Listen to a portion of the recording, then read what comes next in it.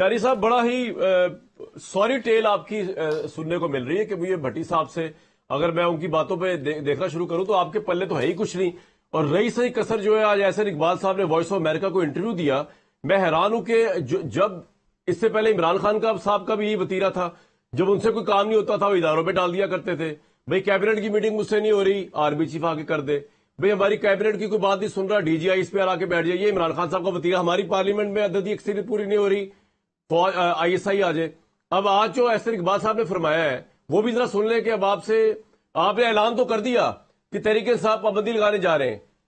वादी नज़र में आपके पास तो कोई सबूत और एविडेंस और कुछ हकायक ही नहीं है। वो भी आपने इदारों पर डाल दिया। सुनवा दें इकबाल साहब ने क्या कहा है। साहब, भट्टी साहब ने जो फरमाया, जो ऐसे इकबाल साहब फरमा रहे हैं, जो मैं कह रहा हूँ, आपके पल्ले कुछ है दिखाने के लिए? सवाए बस इस तरह के कवानीन जो कि स्ट्राइक डाउन होंगे या फिर आपको सैबी डिजोल्व करनी पड़ जाएगी या शायद आप नहीं करेंगे या आप पे हद तक इज्जतें लग जाएँगी तो अदालत लग जाएगी आपके ऊपर और दूसर वजा गिलानी की तरह लाइन लग जाएगी प्राइम मिनिस्टरों की फिर। देखिए कामरान शाह साहब बात यह है कि जब आप ये हत के इज़्ज़त और ये सब बातें करते हैं तो ये तो अब आप फिर you are you are now predicting के जजेस का रिएक्शन क्या होगा। कानून में आपके आ, आप में से किसी ने ये नहीं कहा कि आइन से ये मुतसादम है या आइन या कानून से मुतसादम है जो हम शिके लाए हैं। देखिए, दूसरी बात यह है, जहाँ तक सुप्रीम कोर्ट की वर्डर की बात है, और इस पर मैं ज़रा ज़रूर बात करना चाहूँगा, क्योंकि इसके ऊपर बातचीत हुई है, आपने एक नीयत पे बात की है तो मैं ये एड्रेस करना चाहूँगा कि सबसे पहले तो देखिए, सुप्रीम कोर्ट की वर्डर के ऊपर ऊपर एक रिव्यू पटिशन भी अभी तक पड़ी हुई है, जो एड्रेस नहीं हुई। दूसरी बात यह है कि देखिए, जहाँ पे सुप्रीम कोर्ट के जजेस बिल्कुल काबिल इज़्ज़त और काबिल एहतराम है, और सुप्रीम कोर्ट बतौर अदारा हमारा अदारा है। ये ट्रैकॉटमी ऑफ़ पावर्स का एक अहम हिस्सा है और ये इसकी रिस्पेक्ट हम सबने करनी है पार्लियामेंटेरियंस ने भी शहरीों ने भी, सबने। इसी तरह पार्लियामेंट्री सुप्रेमेसी उतनी या शायद उससे भी ज़्यादा शायद वो इंपॉर्टेंट है।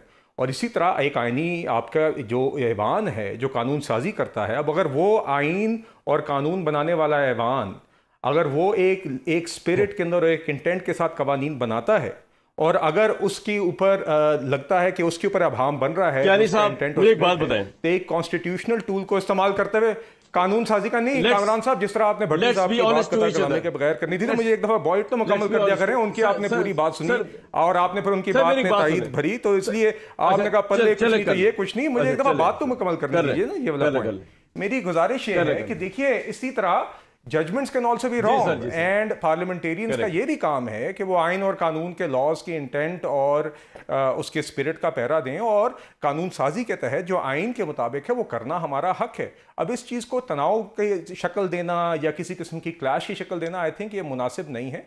बाकी जहाँ तक जजमेंट की बात है मैं बिल्कुल समझता हूँ कि वो जजमेंट एक एक ओवर रीच है।, है। मैं समझता हूँ कि वो जजमेंट में कुछ खराबियाँ हैं और वो मेरा हक है समझना। एक ऐसी चीज़ जो मांगी नहीं गई और मैं समझता हूँ कि शायद वो एक जो इलेक्शन एक्ट है ये इससे there is a clash between the judgment and and the laws ji. Sir sir sir Kayani साहब मैं आपकी इस बात से अगर एग्री भी कर लूँ ना कि सुप्रीम कोर्ट के डिसीज़न ने ओवर स्टेप किया और पाकिस्तान तहरीक इंसाफ को वो भी दे दिया जो देना नहीं चाहिए था वो पिटिशनर नहीं थे सुनी था कौंसल थी यहाँ तक मैं आपकी बात मान लेता हूँ। लेकिन let's be fair to each other मुझे आप बताएँ ये आपकी सीट्स बनती हैं? ये आपकी सीट्स किस तरह बनती हैं? आप एक ऐसी कानून साजी कर रहे हैं करने जा रहे हैं जिसमें आप किसी दूसरे की छोड़ी हुई सीट्स जो है उसको आप कह रहे हैं कि जी हमें दे दो। मतलब यार ये कहाँ की मॉरल ऑडेसिटी है? इसका मतलब लिखा हुआ है? आप कानून पढ़े हैं। हम ये कह रहे हैं सर नहीं सर सर कमरान साहब ये ये ये मिस इंटरप्रिटेशन है। जो बताए। ये मिस रिप्रेजेंटेशन है उस उस इस उस अमेंडमेंट की उस अमेंडमेंट की। वो अमेंडमेंट वाजे तौर पे क्या कह रही है मैं उसका आपको टेक्स्ट निकाल के पढ़ के सुना देता हूँ। वो वाजे तौर पे ये कह रही है कि एक जमात जिसने इलेक्शन से कबल अपनी रिज़र्व सीट्स के लिए लिस्ट मुकर्रा वक्त पे नहीं जमा कराई वो इलेक्शंस के बाद उस कोटे की मुस्तक नहीं हो सकती। इसके ऊपर कौन सा इख्तलाफ है? और किस तरह ये मुतसादम है आपके आइन और कानून से और पास प्रैक्टिस से जो इलेक्शन की रही है, जिसको सब जमातों ने और कंटेस्टिंग कैंडिडेट्स ने तस्लीम किया? नहीं नहीं नहीं, मैं ये कह रहा हूँ कि देखें मान ली ये बात नहीं हो सकती, नहीं हो सकती। आपकी बात मान ली कि नहीं हो सकती, चले, मान ली ये बात, ये लिखा हुआ है पहले। लेकिन ये जो सीट्स हैं, ये आपकी तो नहीं है ना। पॉइंट ये है कि अगर वो नहीं हो सकती तो वो आपकी किस तरह हो सकती है? चलो, उनकी तो हो ही नहीं सकती, उन अहम को ने तो जमा नहीं कराया था। उनके साथ तो जो हो रही है, बिल्कुल ठीक हो रही है, जो उन्होंने हरकतें की, समझाया था, फौज से पंगा ना लो। समझाया था, नौ महीना करो, ये आपका क्रेडिट तो नहीं है। ये तो उन बेवकूफों का डिस्क्रेडिट है जिन्होंने ये काम किए हैं। और वो बैठे हुए जेल के अंदर अहमक लोग हैं। उनको तो छोड़े ना आप, उनके साथ जो हो रही हो रही है। उनकी तो नहीं, आपकी तो किस तरह बन गई? मुझे तो ये समझ नहीं आ रहा, आपका क्लेम किस तरह बनता है? यार, एक सिंपल सी बात है, मैं जो ये कोर्ट अगर मेरा नहीं है, मैं किस तरह कहूँगा कैनी साहब का कोर्ट छीन के मुझे दे दिया जाए? और मैं उसके लिए लेजिस्लेशन भी ले आपकी तो बनती नहीं ना है। उनकी तो चले नहीं बनती आपकी तो बिल्कुल ही नहीं बनती। नहीं, आप वैसी माइनॉरिटी पार्टी पार्लियामेंट में। कामरान एक ब्रेक के बाद मुझे ज़रूर बताइएगा आप भी बताइएगा जी, मतलब जी जी बताएँ बताएँ बताएँ ब्रेक से पहले बता दें। जी बताएँ बताएँ।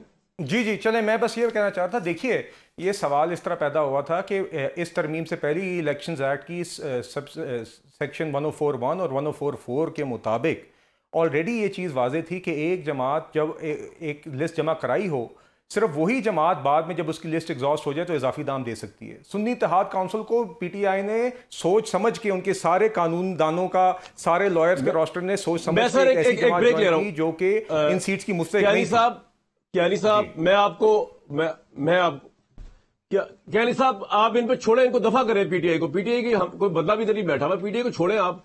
वो तो बंदे अहमक लोग हैं अपनी हमाकतों की वजह से सही मुकाम पे पहुँचे हुए।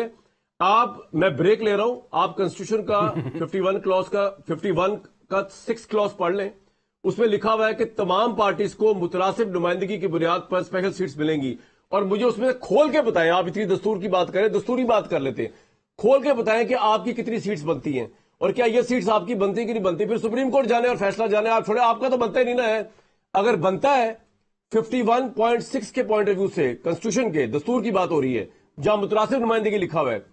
तो बिल्कुल मैं आपके साथ हूँ, ये सीट्स आपको मिलनी चाहिए। अगर नहीं तो फिर आपका कोई प्ली बनता ही नहीं है। कोई मॉरल ऑडेस्टी डेस्टी आपकी बनती नहीं है। कोई मॉरल अप्रोच नहीं बनती इन सीट्स के मुतालिक आँखें डालने की।